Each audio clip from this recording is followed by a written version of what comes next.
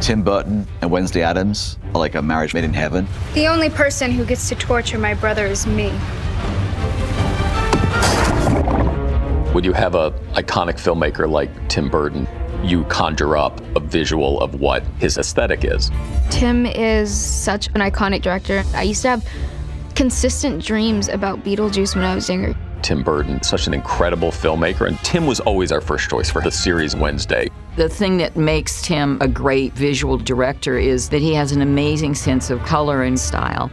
After 37 years, I always have fun with Tim Burton. He likes to keep things visceral. Action. Hello, my little black cloud. How was your first week? What I love about Tim's vision, there's a, as quirky and as creative as it can be, there is a truth about the characters. That's what makes them believable in worlds that are sometimes not so believable. Tim sees himself as an outsider, and I think there's an affinity to the character of Wednesday that he's always loved. If you look back at his movies, there are characters like Wednesday, and I think this is kind of a dream come true for him to really explore that character. Holy crap! Do you make a habit scaring the hell out of people? It's more of a hobby. The Addams family is very symbolic of how I feel about families. I mean, I think all families are strange. Lurch, please remind my parents that I'm no longer speaking to them. And I particularly love Wednesday because she shares my worldview on things. And that was fun to explore. Nevermore's an enigma, a place where the questions far outweigh the answers. I wanted to create a world where these characters are in a heightened reality with school, therapy, your parents. It just spoke to me on all those levels.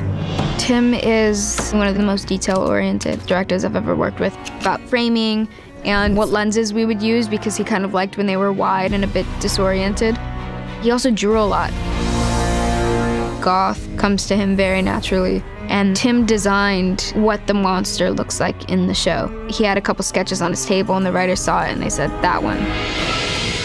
We love working on the world building with Tim. Behold, The sets, the colors, the palette. Tim really elevated things with the cast of actors that he was able to assemble in every role. This show is not a TV series, it is an extended Tim Burton movie. In this more longer form, to see it come to life, that's the fun of it. I've never done something quite like this. It was very exciting to be able to be a part of the Addams family world. Did you hear that, my little storm cloud? You're in excellent hands.